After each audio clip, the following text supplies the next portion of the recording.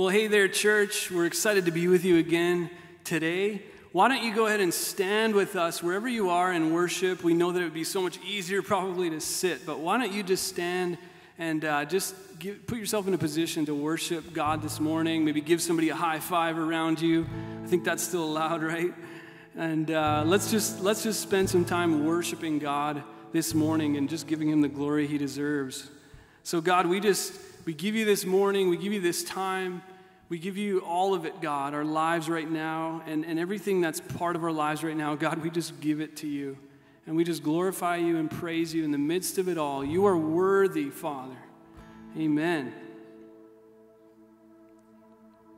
Oh, we look to the Son, set our eyes on our Savior, see the image of love sing his praises forever. Oh, we look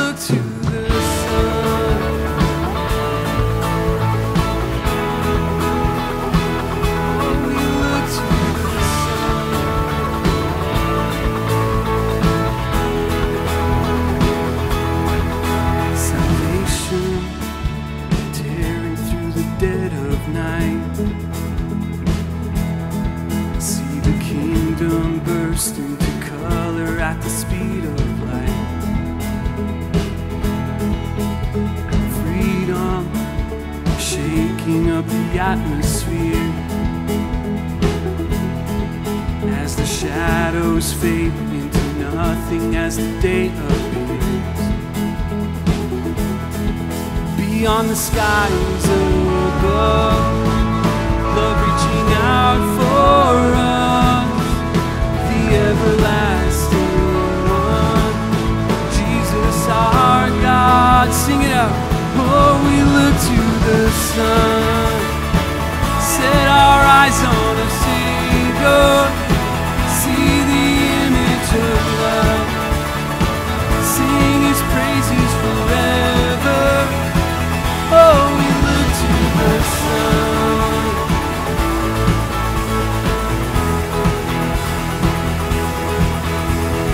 nation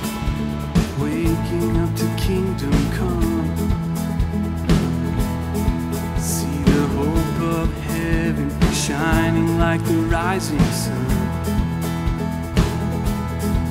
Now forever lifted up from death to life.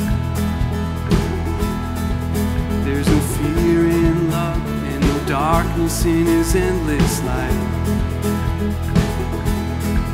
beyond the skies above. Love reaching out for us, the everlasting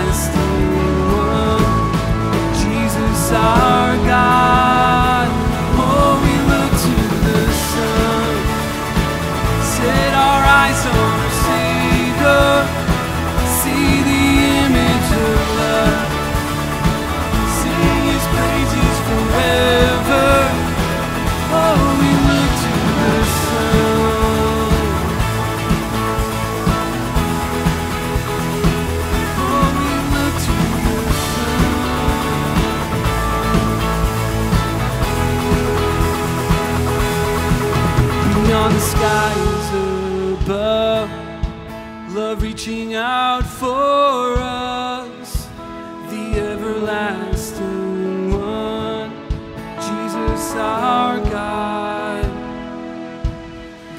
the skies above, love reaching out for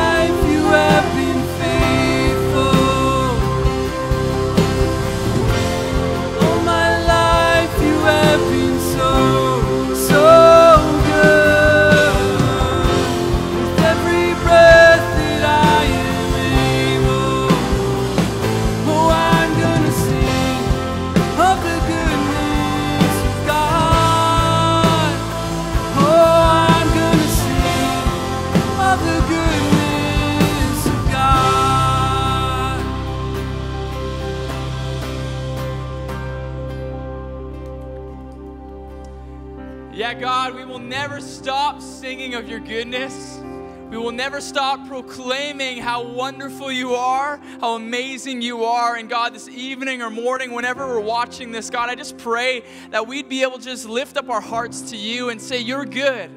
God, whatever situation we're facing right now, you are good and you reign above and you're reigning on your throne, Lord God. And we just choose to lock in with heaven's song this morning and say, You're good, you are worthy, you are awesome, God. And we will praise you all the days of our life. And God, we thank you that goodness and mercy are chasing us all the days of our life and will dwell in the house of the Lord forever. Amen. Amen. Let's give God a hand wherever you're watching from. Let's praise God. Great. Before you have a seat, why don't you turn to, if you're watching with anyone, and say, Hey, I'm glad I can watch this service with you. And have.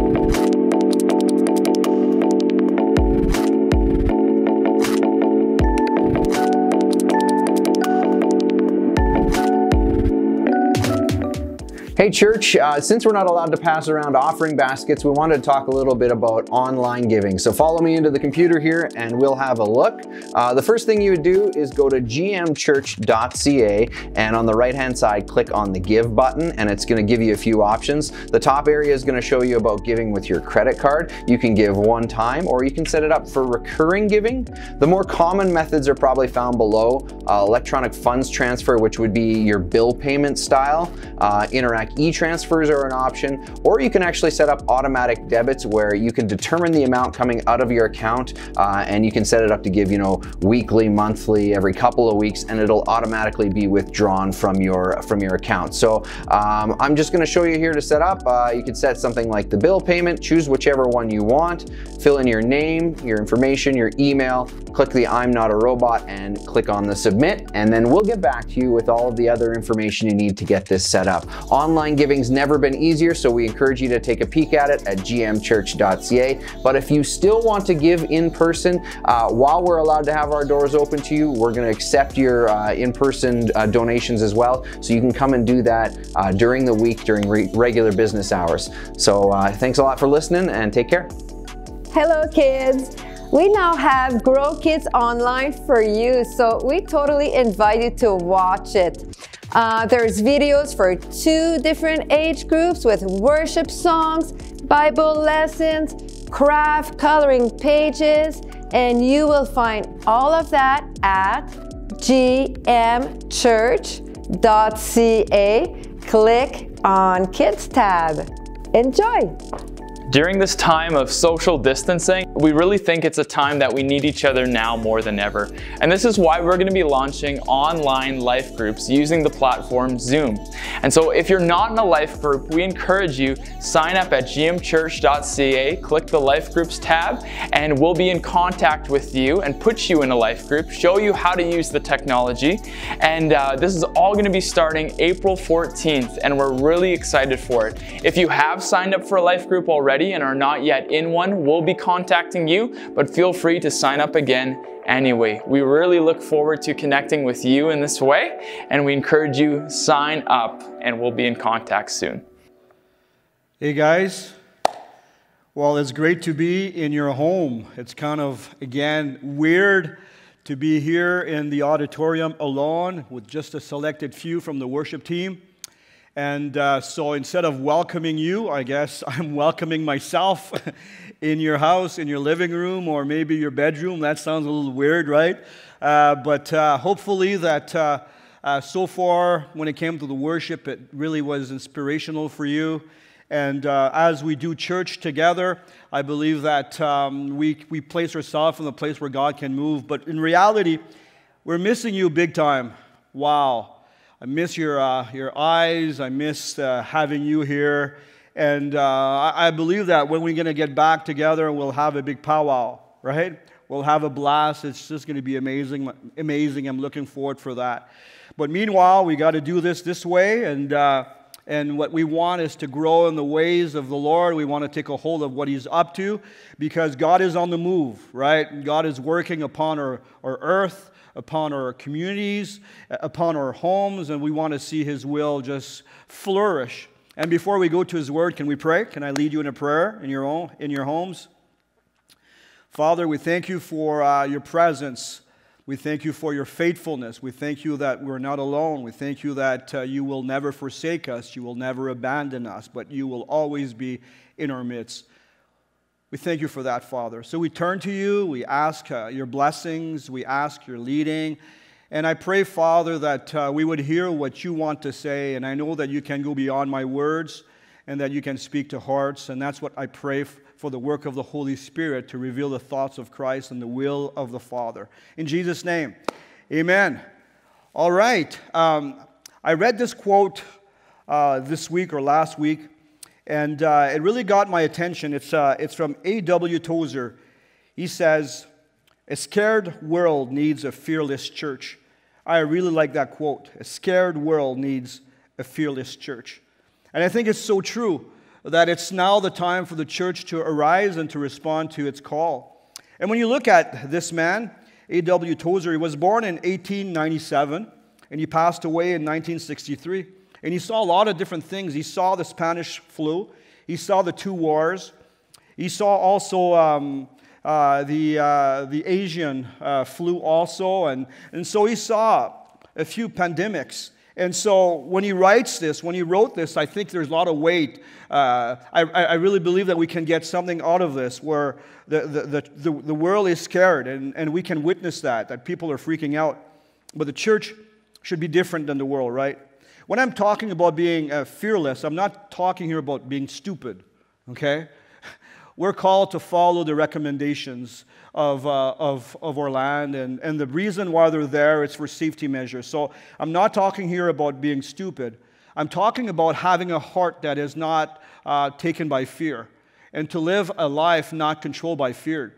And it's so easy for us to get caught by fear because there's so many things around us. There's so many voices that are telling us this and that, and we'll focus about that on that for uh, a little later on. But one of the things that I really want to uh, express to you, or what we should uh, see, or what we should aim for, it's to be like Joshua when he was in front of the promised land, right? Where Joshua was encouraged by God to be strong and courageous. And, and, and I believe that's the call that, we, uh, that is upon the church to be, uh, to be strong and courageous. And, and we don't know what the future has in hold or what the future has for us. And actually, I would have to rephrase this. I don't know exactly what God had, has in store, but we know that He's in our tomorrow and we know that He's in our future. And so, what we want to do is we want to, um, we want to um, uh, respond to His call. And, and, and the main thought is that we're called to be different than the world. Can you tell that to someone around you that we're called to be different from the world? And uh, so that shows by what I'm posting on, on, on social media, what comes out of my mouth, what's my attitude. We, we should not be like the world because I, I believe that we, we have a hope and we should not be controlled by fear. And so when it comes to living a life of not being controlled by fear or, or being a fearless church, what does it mean? How does that look? If you have your notes, uh, we've sent you the notes via email and it's available for you. And, and uh, like, what does it mean for us not to walk in fear? And how do we walk in, in faith instead of fear? Well, I, I think the first thing we need, to, we need to do is to define our focus. What am I focused on? What's the focus? And I, I really believe that my focus is important because if wherever I focus, I will go that route. Does that make sense? If, if you're biking or cycling and you're not looking ahead and you're looking on the side and you're not focusing on where you're going, there's a, uh, you're placing yourself not in a good spot, right? Or we can all have a picture, a mental picture of a kid that is running and he's not looking and you and you want to tell the kid come on look ahead look ahead and sometimes what happens they hit a wall right? It's funny and not but the thought is hey you got to look ahead. And uh, so my focus sets my destination. My focus listen to this this is huge my focus sets my destination. Whatever I focus on, I will go in that direction. And there's this verse, two verses found in Proverbs chapter 4, verse 25. Look what it says. Let your eyes look straight ahead, fix your gaze directly before you. So you fix your gaze directly before you. Give careful thought to the path for your feet, and be steadfast in all your ways, or be steady in all your ways. So here we see that we're called to look straight ahead and fix the gaze, our gaze directly before us. I remember when I was a, a, a kid or younger, way younger, and uh, my dad was a, a, lumberjack, and one of the things he used to do and what he learned was to walk with a chainsaw in one hand and a jerry can, a five gallon, uh, on, on, the other hand, and he walk, would walk on a, on, a, on a railroad track. And he would walk miles on that track. And I remember him teaching me how to walk on the track. You know, when you walk on the track, you, you, you're afraid of losing your balance. And you probably did that at one point in life where you walked on the track. If you haven't, well, come on. It's time to experience life. Okay? Uh, so if you walk on that track, if, if you look on the side, you'll take a flip. And if you look at your feet, you focus on your feet, Again, you'll, you'll be, you'll be uh, going on one side or the other. What you have to do is you have to look around a meter in front of you or half a meter in front of you, of you and you gotta, you gotta let your feet go. And it's amazing. You can go for uh, kilometers this way. And that's how my dad used to walk kilometers. And in his ways, he would say miles, right? So he would walk, he would walk miles with a, a chainsaw and his, his canteen on the other side and, and do a, a long trip. And it's the same thing with us, I believe that we are called to look ahead. If I, if I get distracted on the right and on the left and I remove my focus from what is before me and my focus is to pursue God, and if I take my eyes off God, what's going to happen is that I will fall on the right and on the left and I will lose the peace that God has for me. So, I, so what we want to do is we, we want to we want to look ahead. We want to look to God, and we got to realize that my focus will influence my destination. I like what it says in 2 Corinthians chapter 1, verse 10. Actually, it's my verse for, the, for this season. And uh, you, can, uh, un, uh, you can underline it, underline it, underline it in your Bible. Uh, you can put it on your fridge. I think it's an awesome text. It's found in 2 Corinthians chapter 1, verse 10. It says, He has delivered us from, from such a deadly peril, and He will deliver us again. On Him we have set our hope that He will continue to deliver, deliver us. So Paul is saying here, He has delivered us from such a deadly peril. He will deliver us again. On Him, you see, on Him we set our hope. We put our eyes on Him. We set our uh, focus on Him. And then he, it says, and He will continue to deliver us. And if you look in the same book in chapter 11, verse 24, we, we, we see His journey where five times He received from the Jews the 40 lashes minus one. Three times he was beaten with rod, once he was pelted with stones, and three times shipwrecked, and the list goes on. It was not a walk in the park. It was not a walk in the park for him. But what he says is this um, He has delivered us, he will deliver us, and he will continue to deliver us. Can you tell that to someone beside you? He has delivered us, he will deliver us, and he will continue to deliver us. What a mindset, right? And I think that's how we should live our lives. We should live our lives by this example, remembering what God has done, knowing that He's with us, but also knowing that He's in our future. So He has delivered us, He will deliver us, and He will continue to deliver us. I think that's so phenomenal as a verse. And, uh, and Paul, when he said this, he, he, he, was talking about his journey. Like I said, it was, it was a hard journey, but he knew that God was with him. So, in this time where we're called to shine, in a, in a scared world, we're, we're called to rely and, and trust in the Lord and keep our eyes on Him. And Psalm 16, verse 8, is a text that is similar to that. It's a great verse that we can memorize. It says, I know the Lord is always with me.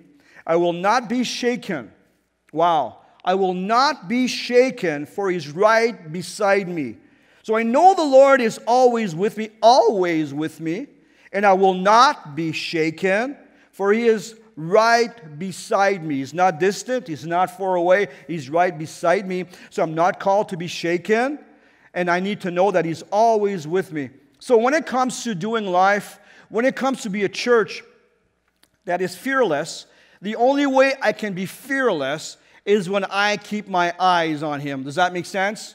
I got to keep my eyes on him. I've got to focus on him. I've got to go to his word.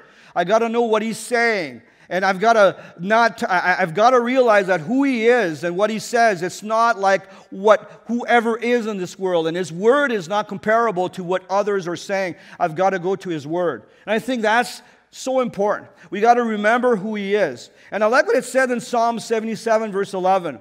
He says, "But then I recall all what you have done. Recall. And sometimes we got to stop, right? We got to stop in our tracks and recall what He has done. But then I recall all you have done, O Lord. I remember your wonderful deeds of long ago. They're constantly in my thoughts. Wow. They're constantly in my thoughts. What are in his thoughts is the work of the Lord, the wonderful deeds of long ago. They are constantly in my thoughts. You see, what needs to be in our thoughts is what God has done. And then goes a little further. He says, I cannot stop. I like this. I cannot stop thinking about your mighty works, O God. Your ways are holy. Your ways are different. Your ways are above my ways. Is there any God as mighty as you? We know that there's no one, right? You are the God of great wonders. You demonstrate your awesome power among the nations. By your strong arm, you redeem your people. What an awesome text, right? That we are called to recall what the Lord has done, and we're called to remember his wonderful deeds constantly in our thoughts. And, and I, it would be so awesome if we could take a hold of this truth. I cannot stop thinking about your mighty works. I cannot stop thinking about your mighty works. And sometimes you got to realign your, your thoughts because there's so many things coming your way. So you want to think about what God has done. You want to think about what God can do. You want to think about His faithfulness. And that, I believe, when we take a hold of this truth, it arises in us and it influences the way we live our lives. So I believe that what I focus on will, will influence my destination or will make me go in a certain direction. So it's important to say, to look at what am I focusing on? What am I majoring on? What do I talk the most about? What's my focus? And it has to be on Jesus, it has to be on God. Secondly, how do I stay fearless and how can I be a fearless church is when I, when I limit my intake of news. Kind of a funny point, right? When I limit my intake of news. If we, uh, if we want to be fearless, I can't listen to everything that is out there. And that's the thing. We have access to all the information. We, we have access of different conspiracy. We have access to this news channel, this news channel. There's so much things that is said to us. You can go on your computer and you can scare the heck out of yourself. You really can. You, you can be caught with a panic inside of you by what you're reading by this guy, by that guy, or by this movement or that movement. And it's important for us not to get caught by that. This is why we got to focus on the Lord. But we got to go and, and, hear what God has to say. Otherwise, we will lose our peace and we will lose and we will be de- derailed and we'll miss out of, on what God has in store for us. And Psalm 112 says this in verse 6 Surely the righteous will never be shaken, they will be remembered forever. Look what it says in verse 7 They will have no fear of bad news, their hearts are steadfast, trusting in the Lord. They will, they will have no fear of bad news. Why will they not be uh, uh, uh, influenced by the bad news? It's because their heart are steadfast and trusting in the Lord. And so, so when I focus on news and I give myself to that, it's going to bring a, a sense of worry. And it's so important not to do that. I've got to look at the feeding ground. What is my feeding ground?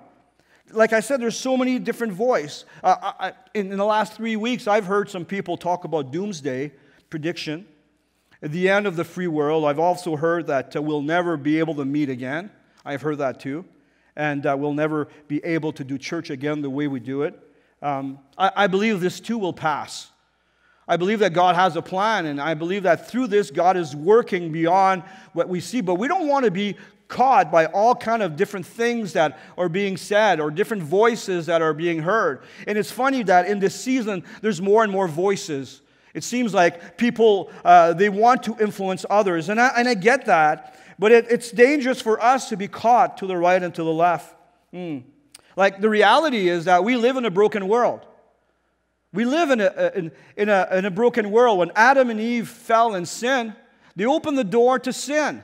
And since that day, we, we, we live the with the consequences of disobedience. For example, I'm dealing with the greatest sickness ever, and that's called aging. And I can't do nothing about it.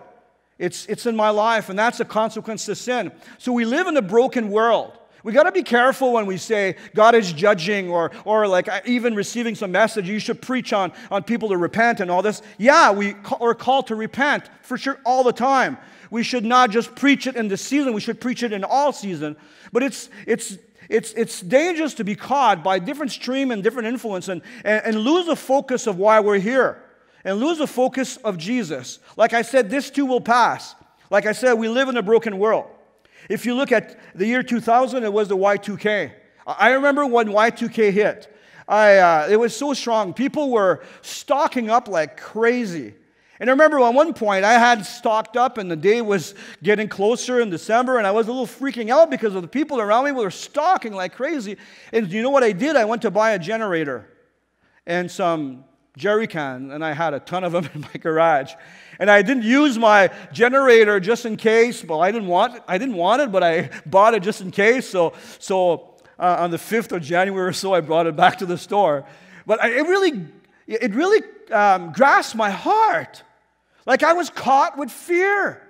I was caught with fear. And you don't want to do that. You don't want to live this way. In year 2000, the Y2K, 2001, it was anthrax. Um, 02 was the West Nile vi- uh, virus. In 03 was SARS. 05 was the bird flu. In 08 was the bad economy. And after that was 9 11 and ISIS. And in 09, the swine flu, H1N1, and that was pretty nasty. Ebola virus, Zika virus in, in 16, 2020, coronavirus. If you look at the HIV a few decades ago, that was nasty too. You look at the Asian flu, H2N2, in the 50s. You look at the Spanish flu in 1918. It's unreal. And we, all, we always bounce back. The, these are the consequences to, to sin. And we're going to face these days. We shouldn't be surprised that these things happen because we live in a broken world. You see? What we're called to be, we are called to be a people of hope. We're called to reach out. We're called to love. We're called to rely on the Lord. So I just want to encourage you not to get caught by this, um, by what's on the left and what's on the right, and focus on the Lord. What I encourage you, encouraging you to, to do is to take time to fuel yourself, to fuel yourself, to breathe first, experience His presence, experience God, and let Him lead you from there. It's like when you go and when you hop on the plane. And they say if we experience a change of altitude, an oxygen mask will fall before you. But place it on your face first before helping someone else, right? So, so it's the same thing here. There's a change of altitude, and we are aware of it. It's not like it was a month ago. And we are in a situation that we don't know exactly how it's going to turn out. But what you want to do before you help someone else, you got to breathe. Right? And you take in God, you come to God. You don't want to be like a chicken that has no head, that runs everywhere, right? You just go crazy. You go on this news, that news, ah, you freak out, and anxiety comes up, and then you say things that you should not say, and, and you lose the focus, and actually you get caught in the trap of the enemy. So, what you want to do is that you want to breathe in His presence. You want to come before God and say, God, what are you up to? What do you want to do in my life? What are you saying in this season? You take the time to rest, to soak in Him. And then you are, as you're getting soaked in Him, you absorb His presence. His presence take, take, control of your thought, your heart. The peace comes in, and then you go to His Word, and you have this dialogue, dialogue with God, with His Word, and then God sows life into you, and then you turn around and you help other people. We, and, and that's what God wants us to do. God wants us to take in His presence, to go before Him. And that's my challenge that I have for you. Instead of being caught by all of these different streams and these different voices, and you know that I don't preach like this very often, but I, I, am kind of concerned and I'm, I'm, kind of mad at the same time because I see so many of you being caught by fear. And what we need to do is we got to refocus on God and let Him fill us, receive what He has to say to us. I think that's so important whatever we're going, whatever we're, wherever we are in life, I think we always have to do that, but especially in this time. So what we want to do is we want to take in His presence. We want to breathe Him, breathe Him in. You know, when, when it comes to the Lord, um, sometimes the Lord calms the storm. He's able to calm any storm. And sometimes He calms us in the storm, right? Sometimes God doesn't remove the storm, but He calms us inside. And sometimes He removes the storm. But one of the things that we learn from this thought is that He's always there, He's always in our boat. So, what we want to do when it comes to what we're living and what we're dealing is that we want to limit our intake of what's happening around us. We want to take a time with God. And you know what happens is that we watch all the news, we hear this and that, we listen to this, this podcast and that, or, or this guy and that guy, and we don't even take a time with God. That's crazy, right? We don't even take a time to hear what he has to say. We don't even take a time to, to, to let him feel us and, and move upon us. And I think that is so important for us to do. So I, I, challenge you to limit your intake of what's out there and take some time with the Lord. Thirdly, so if I want to live fearlessly and, and, as a church, because I'm the church and you're the church, it's when I see fear and anxiety as my enemy. I think this is huge. If you can't just get this, I did my job. When you see fear and anxiety as your enemy, fear and anxiety is an enemy. And you got to see it. That if you let it in, it's going to control you. It will influence the way you think, the way you live, the way you behave.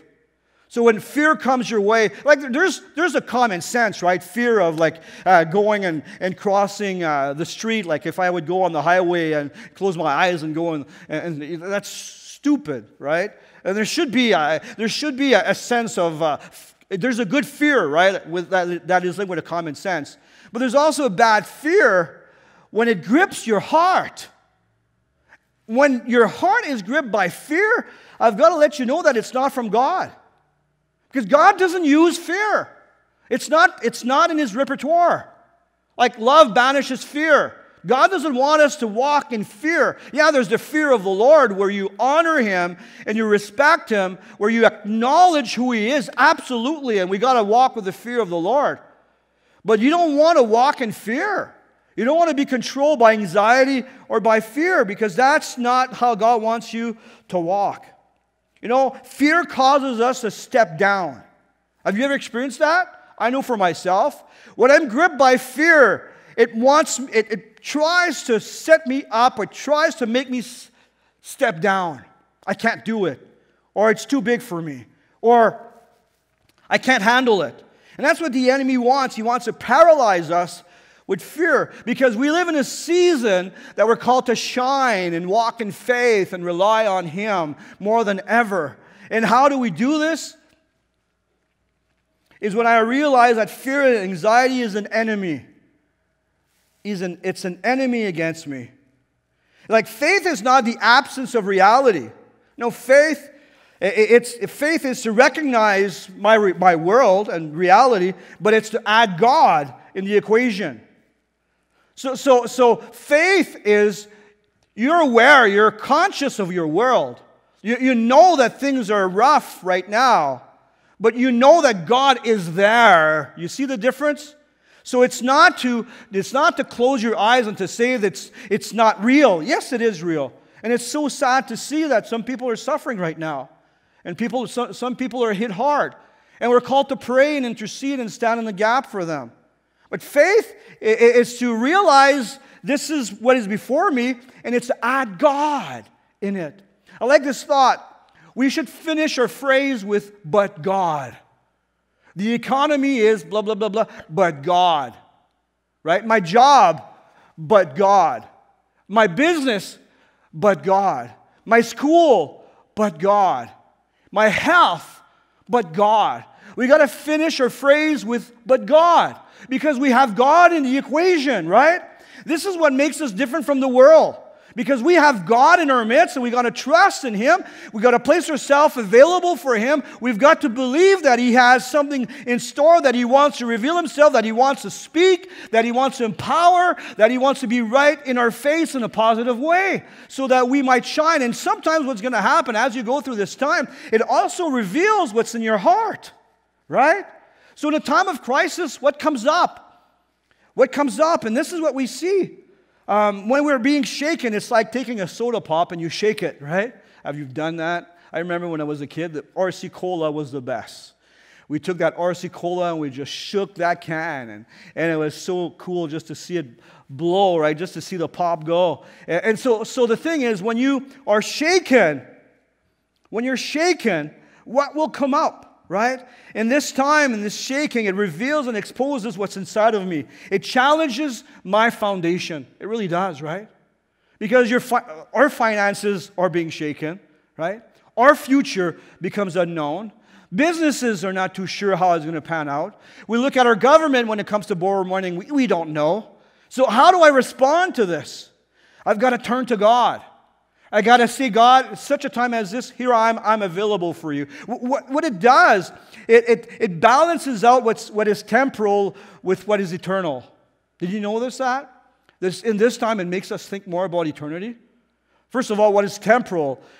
You, we can lose it overnight, right? We saw some funds dive overnight. We saw that so, it's so fragile. What we see is our world is so fragile. And that's what it says in Proverb 18, verse 11. It says, The rich think of their wealth as a strong defense. They imagine, they imagine it to be a high wall of security, but it's not. It's really not, right? Because everything can be shaken. But our trust is in the Lord, right? So what happened is that it makes us think about eternity. Because when you look at what is temporal, it's, it's not solid, right? We think it's solid. We get caught in the materialistic world and it's, it's, just a, it's just a trap where we get caught in, right?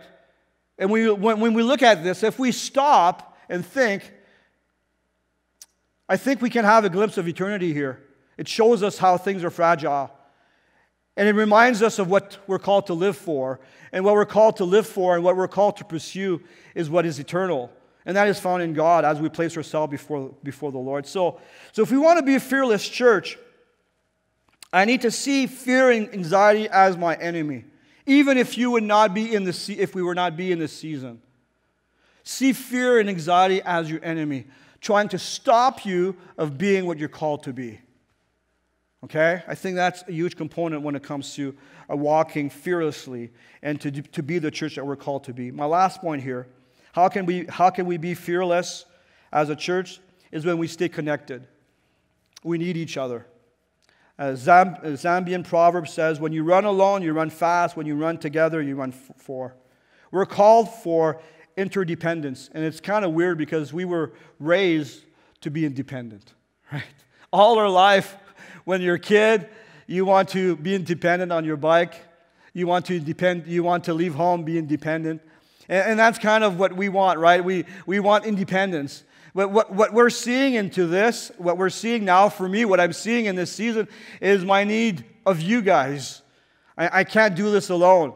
It's, it's kind of weird because we take things for granted, right? We really do. And when we experience this, we, for me, I realize my need of each other even more. This is why we worked hard to have Zoom and when it comes to small group and having a flock too, where we can have people in community because we can't do, do this alone. And, uh, and as we go forward, if we want to be a fearless church that is not caught by fear, I think it's important for us to connect with people that will encourage us and move us in, in, in God's direction. I believe that community is God's answer to despair. It really is. So we can't do this alone. We can't isolate ourselves. We need one another.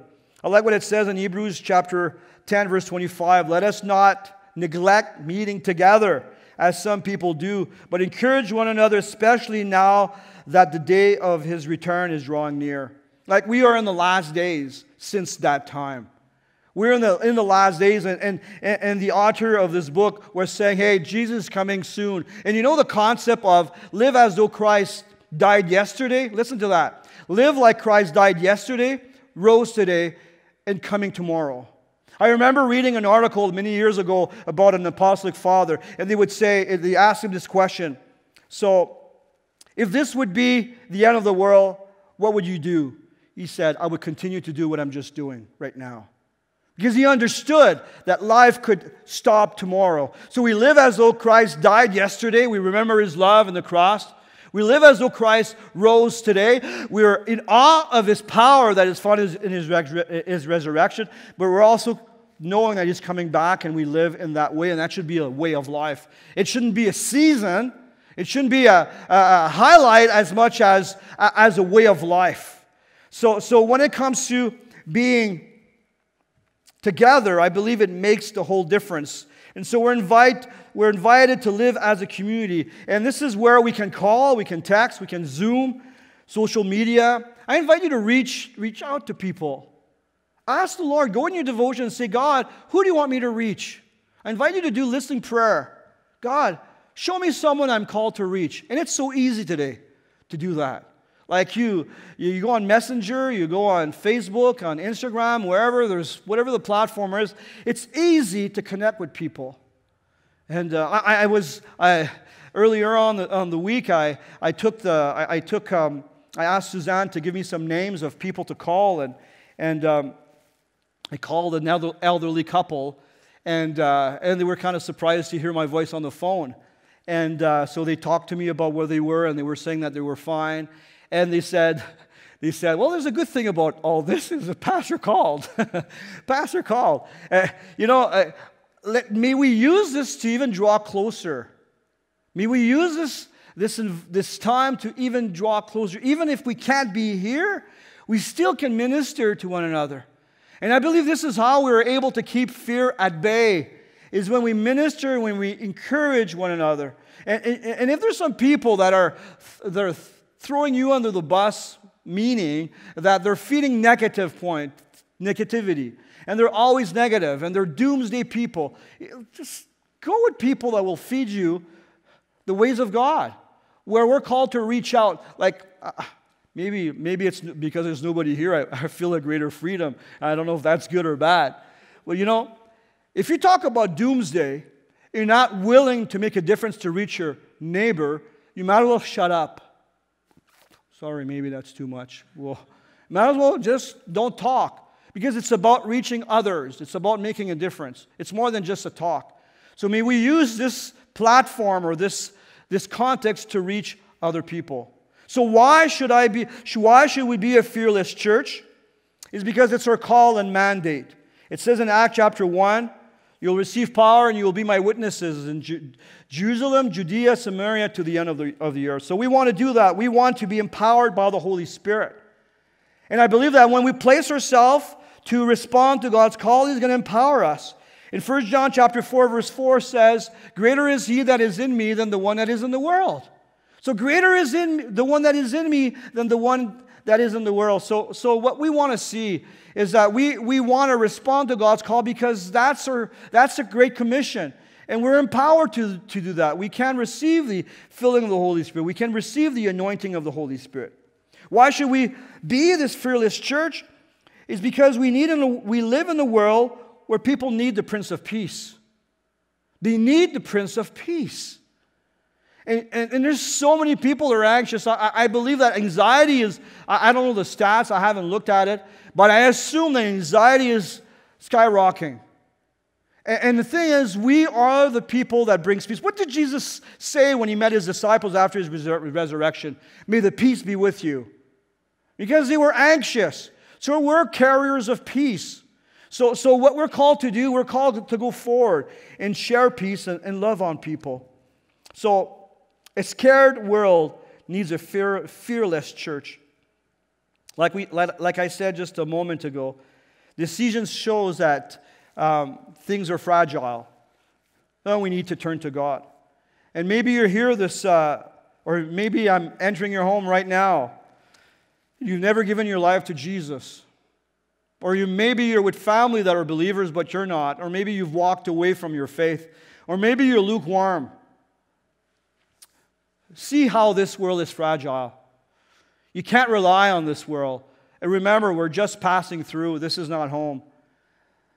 I invite you to surrender your life to Jesus. I invite you to confess your sins, acknowledge that you're a sinner, admit that you need a Savior, that you need direction in your life. Open your heart up to the reality of God. Let Him in. Let Him shine in you. Let Him transform you. And you're going to see it's going to be an awesome journey. And maybe you're, you're watching me right now and you're caught by fear. You're following all kind of uh, conspiracy or it grabs your heart. Hey, let God come in. Let God enter your living room and bring peace. Knowing that it doesn't really matter. What matters is that you are with Him and you're fulfilling your mandate. You're fulfilling what He's calling you to do. Because there's a battle going on. And let me say the battle is over your peace. Can I say this again? Your ba- the battle is over your peace. Because if I don't have God's peace, I'm not able to hear what He has to say. I need to experience His peace. So I invite you to draw closer to God and let Him move you, let Him touch you, let Him uh, sow life into you. So don't let fear take a grip of your heart. Let the peace, the Prince of Peace, enter your life. I think that's huge. Amen. I'd like to lead you in a prayer at this point here. I won't ask you to stand, but I invite you just to um, just to open up to God. Like I said in my invitation, maybe you've never committed your life to Jesus Christ fully. You might be a junior youth or a young adult, and you've grown in the church, but you've never surrendered your life to Jesus fully. Hey, guys, this life is fragile, as we can see. Turn to God. He is a sure foundation, He's a rock of ages. Build your life on Him. It's going to make the whole difference. You'll have an inner peace that the world can't give. It's going to rock you inside. I invite you to do that. I invite you to ask the Lord just to come and visit you. Maybe you're caught with fear. You're feeding that fear. Ask the Lord to help you to stop to feed that fear. Ask the Lord to free you from the inside. That you would have in your words, but God. Okay, this is happening, but God has a plan. God has a way that you would let joy arise in your heart, that you would see that God is on the move, that God is, to, is up to something, that you would place yourself available for Him, that you would not let fear bring you down or prevent you of stepping up, but that you would say, God, I believe in you. I don't have to be controlled by fear because you're with me. So, God, here I am. Fill my life, fill my home with a hope Fill my home with, a, with an expectation that you are there and that you want to show up, that you want to glorify yourself in this context. So we turn to you, God, and we give you glory and honor. In Jesus' name, amen. Invite Brenton to come forward. He's going to give, we, I have some homeworks for you to do, so he's going to share the homework. Right on. So the kids are like a week without homework, spring break. We've got some homework. It's it's going to be good homework though. So I'm just going to read through these, and at the end, actually, uh, we're going to worship, and then there's going to be a slide with all of them on there. So you'll maybe want to screenshot the TV when that slide plays, and you could also look at the sermon notes to read these. So, number one, uh, what fear or fears are you facing right now? And what steps can you take to begin to convert your fear to faith? So, again, when we're doing this, these are things we're asking God. Go before God and ask Him these questions.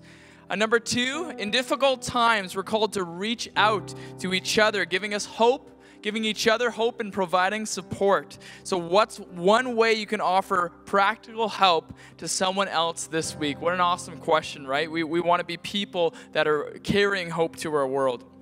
Three, we encourage you to stay socially connected during this time without uh, connecting physically. How do you plan to keep gathering together. So, not that we're gathering together, but how do you plan to do that? Uh, again, like we mentioned, uh, we're going to be starting life groups online. If you go to gmchurch.ca right now and click the life groups tab, then you can sign up for an online life group if you're not yet in a life group. Uh, we, we need community now more than ever. So, how are you going to do that? Um, number four, what are you feeding your spirit? Can you make any adjustments to strengthen your spirit during this time? What are you filling yourself with? Are you filling yourself with just the news or with God's word as well? Um, and five, in listening prayer, ask God to show you what He wants to do in you during these times. God has a purpose for every season in our life. And if we allow Him to work, then He wants to do something in us good during this time. Amen? Can we uh, close in worship together?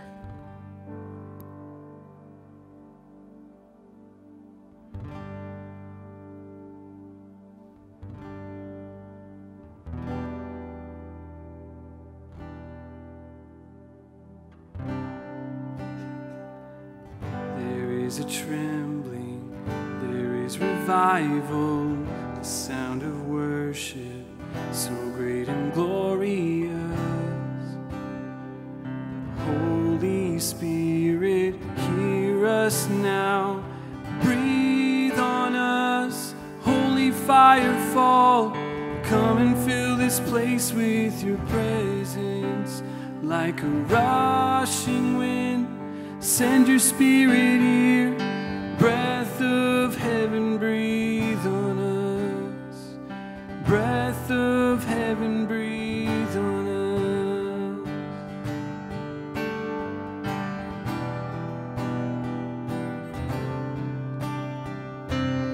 There is a shaking, let hearts awaken.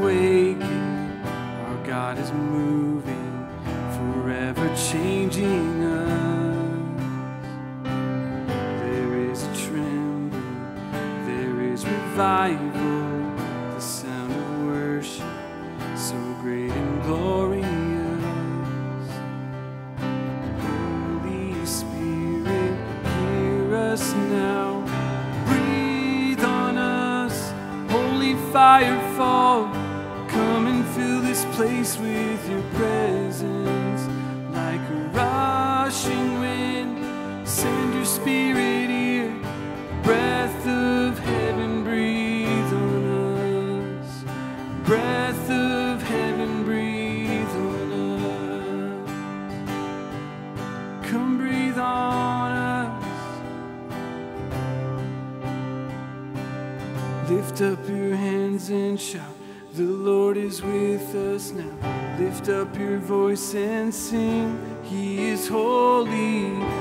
Lift up your hands and shout. The Lord is with us now. Lift up your voice and sing. He is holy.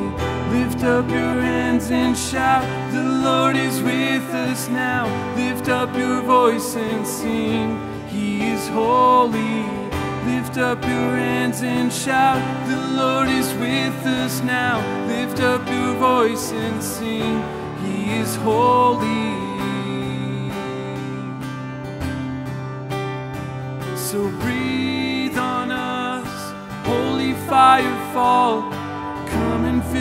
Place with your presence like a rushing wind. Send your spirit